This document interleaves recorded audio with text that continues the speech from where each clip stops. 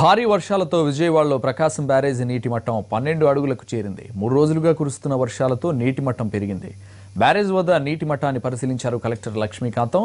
పట్టిసీమ నీటిని ముందుగానే వ్యవసాయానికి అందించడంతో రైతులకు ఊరట లభించిందన్నారు ఆయన. బ్యారేజ్ వద్ద నీటి మట్టం పెరిగితే ఆ నీటిని దిగువకు విడిచిపెడతామన్నారు కలెక్టర్ లక్ష్మీకాంతం. ప్రకాశం బ్యారేజ్ వద్ద ప్రస్తుత పరిస్థితిని మా ప్రతినిధి హరీష్ అందిస్తారు. హరీష్. వర్షాలు ఒకవైపు ఇంకోవైపు పట్టిసీమ పరవాళ్ళు మరోవైపు. వెరసి ప్రకాశం బ్యారేజ్కి ఎప్పుడూ లేనంతగా జలకళ వచ్చి పడింది దీంతో ఇటీవల కాలంలో ఎప్పుడు చూడని విధంగా ప్రకాశం బ్యారేజ్ వద్ద పన్నెండు అడుగుల నీటి మట్టం నిల్వ ఉన్నటువంటి పరిస్థితి. ఇది కాక కాలువలకు కూడా దిగువ ప్రాంతం ఉన్నటువంటి డెల్టా ప్రాంతానికి కూడా కాలువలకు కూడా నీళ్ళు విడుదల వచ్చినటువంటి పరిస్థితి. ప్రకాశం బ్యారేజ్ వద్ద నీటి మట్టానికి సంబంధించినటువంటి పరిస్థితులను పరిశీలించేందుకు స్వయంగా కలెక్టర్ జిల్లా కలెక్టర్ లక్ష్మీకాంతం కూడా వచ్చారు. మనతో మాట్లాడేందుకు లక్ష్మీకాంతం ఉన్నారు. సార్ చెప్పండి గతంలో అన్నుడు లేని విధంగా ఒకవైపు పట్టిసీమ పర్వాలు దొక్కుతుంది ఆ వాటర్ కూడా బాగా వస్తుంది. ప్రకాశం బ్యారేజ్కి బాగా నీటి పట్టం కూడా పెరిగినటువంటి పరిస్థితి. ఎటువంటి చర్యలు తీసుకుంటున్నారు? దిగువ ప్రాంతంలో కాబట్టి వాటర్ అనేది బాగా సంచువస్గా సర్ప్లస్గా రావడము చాలా సంతోషము. ఎందుకంటే ఒక టూ త్రీ డేస్ ముందు కురిసిన వర్షాలకు మనకు బాగా వర్షం పడ్డంతో బ్యారేజ్ దగ్గర కూడా ట్వెల్వ్ ఫీట్ వరకు వాటర్ లెవెల్ మెయింటైన్ అవుతా ఉంది. ఎక్సలెంట్ ఇది. ఇకపోతే మనకు రెగ్యులేషన్ ఒకటి కేర్ఫుల్గా చేయడం జరుగుతుంది. ఎందుకంటే ఇన్ఫ్లోస్ చూసుకొని అవుట్ఫ్లోస్ని బ్యాలెన్స్ చేయగలిగితే ఎటువంటి ఇబ్బంది అనేది ఉండదు. లాస్ట్ వీక్ వరకు మనము ఎనిమిది వేల క్యూజెక్ల వరకు ఇచ్చాము.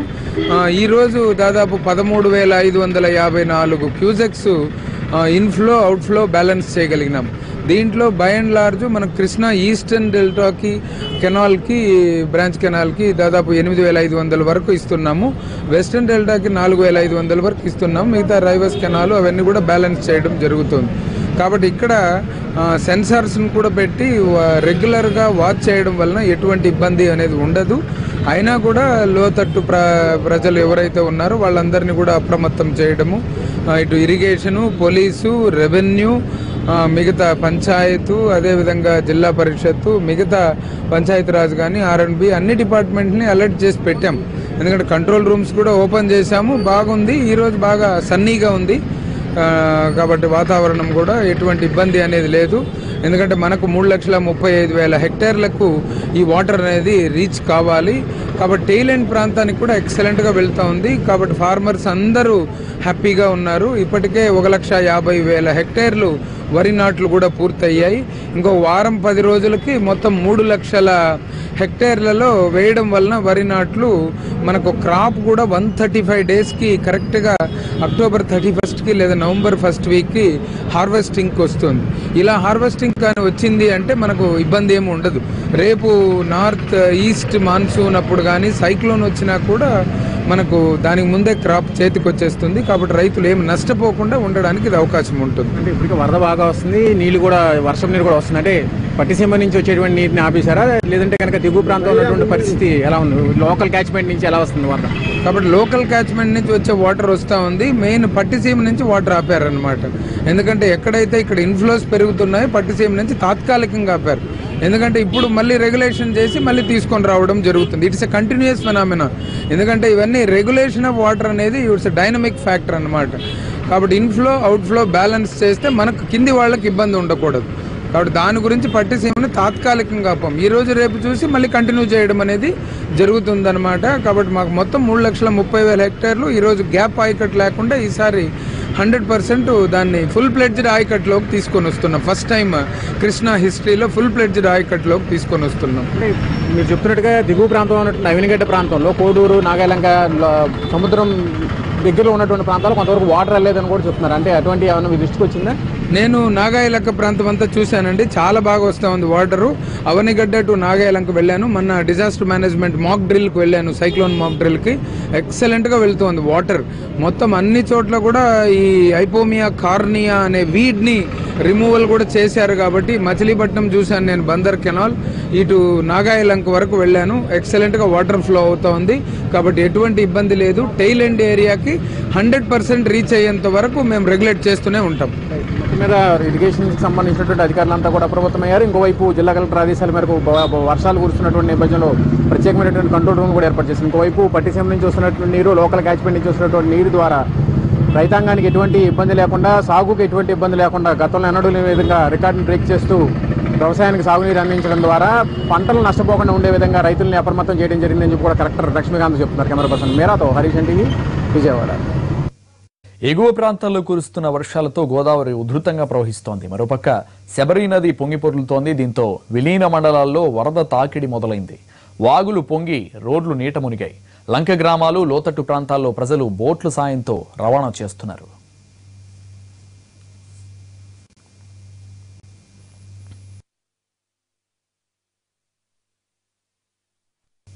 గోదావరి ఉధృతికి సంబంధించి లేటెస్ట్ అప్డేట్స్ మా ప్రతినిధి శ్రీనివాస్ అందిస్తారు. రాజమండ్రి వద్ద గోదావరి ఉధృతంగా ప్రవహించడం జరుగుతుంది. ఎగువ ప్రాంతాల్లోంచి వస్తున్న వరద నీరు కారణంగా ఇక్కడ గోదావరి వరద ఉధృతి చాలా ఎక్కువగా ఉండటం జరిగింది. దీంతో ఎగువ ప్రాంతాల్లోంచి వస్తున్న వరద నీటిని అంతటినీ కూడా ధౌలేశ్వరం బ్యారేజీ నుంచి దిగుకి సముద్రంలోకి విడుదల చేయడం జరుగుతుంది. ప్రస్తుతం చూసినట్లయితే ధౌలేశ్వరం బ్యారేజ్ దగ్గర ప్రస్తుతం ఎనిమిది పాయింట్ రెండు అడుగుల వద్ద గోదావరి వరద నీటి మట్టం కొనసాగుతున్నది. ఇది రోజు రోజుకు కూడా క్రమేపీ పెరగడం జరుగుతుంది. అలాగే ధవళే- బ్యారేజ్ నుంచి కూడా మొత్తం నూట డెబ్బై ఐదు గేట్లను కూడా ఎత్తివేసి మొత్తం ఇప్పుడు ఈరోజు చూసినట్లయితే మూడు లక్షల ముప్పై ఆరు వేల కుసిక్కులు నీటిని సముద్రంలోకి విడుదల చేస్తున్నారు.